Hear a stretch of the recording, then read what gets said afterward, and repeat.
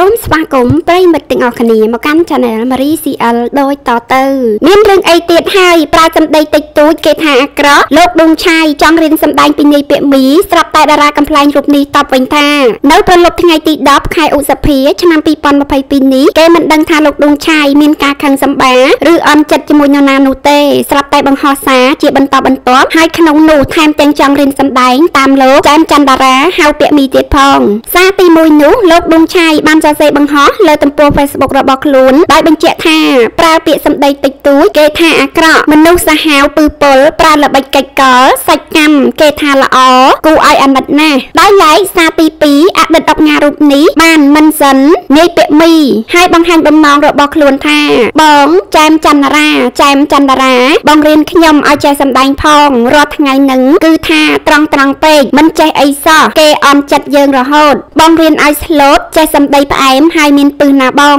ដោយឃើញគេមិនសិនឈ្មោះខ្លួនឯងបែបនេះនាយពាក្យមីបានចូលទៅខមមិនក្រោមផុសនោះដោយតបទៅវិញគួរឲ្យអស់សំណើចថា10ដុល្លារបងរៀន5ក្បាច់ឈុតយំឈុតសើចឈុតលោតទឹកជ្រោយចង្វាឈុតដើរស្រាតនិងឈុតផ្សេងផ្សេងទៀតតាមរយៈនេះគេមិនដឹងថាលោកដួងឆាយធ្វើឲ្យអ្នកណាអន់ចិត្តឬមានបញ្ហាអ្វីមួយអ្នកណានោះទេ តែនៅពេលគេខមមិនថាឈប់ផ្លែផ្កាទៅមនុស្សប្រុសល្អមិននិយាយដើមគេទេ ស្រាប់តែលោកតបវិញថាចាំខ្ញុំប្តឹងបកឲ្យមើលវិញម្ដងដល់ពេលនឹងកុំថាខ្ញុំនឹងមិនយកយល់